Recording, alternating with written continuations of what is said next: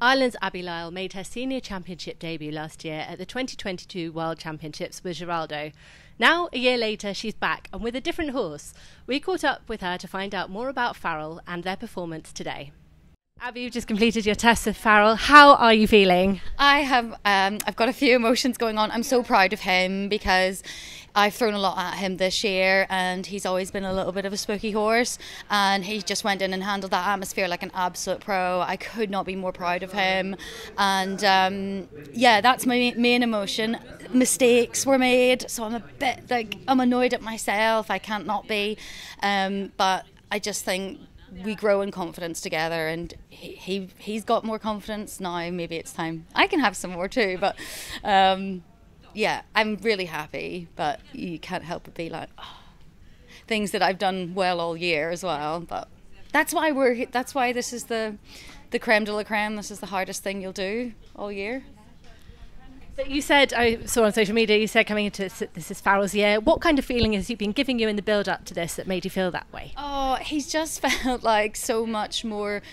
Um, like really up for it. He feels strong. He feels like even you know he's look around, he's not the flashiest horse, but I actually feel like he's getting more accomplished at every movement. He's actually even giving me a bit more of everything. But then also in terms of like his rideability, he's like, yeah, okay, I know what I'm doing. Let's do it. That's what he feels like. It's lovely.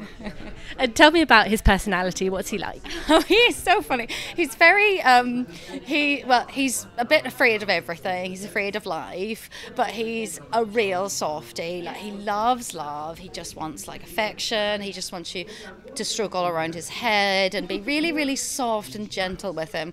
Um, but yeah, then then also he's a bit like. I always say he's hard on the outside, soft on the inside. That's what he's like. That's the best way to say it. and for you, you've got had two horses now that you've competed at championships. What does that mean to you as a rider? Oh, it means so much, and it's quite a lot to to take because you get so like I was so nervous the last 48 hours. Like it really hit me. And um, then this morning I kind of stepped away and was like you've you've produced her yourself and you've come here two consecutive years in a row like come on you're all right. So um, it, it does it means so much. It's such a long road. And then it's quite easy to think like that one that six minutes in there is the be all and end all but it's not. You come out and you go again and you get on and you go and make things better for next year. I couldn't even imagine this time next year i'd have farrell in this type of atmosphere. So yeah and they're you know both are only 12 i'm young-ish and we can keep going. That's yeah, that's what it feels like, and it, it, does. It means so much, and to have had them myself from young ones is so special. I feel like this is my glory days. when you say you've had them from young ones as well, your bond between you and them, you must know them inside out, and them you. Yeah, weirdly, I feel like I know Farrell more than Arty, but I think that's just because he's a more like Farrell's more overt with his emotions. Arty's a bit more like introverted, and like it's not always easy to tell if he's feeling a bit oh, tense or not. Uh, but Farrell will tell you very clearly how he's feeling. yeah.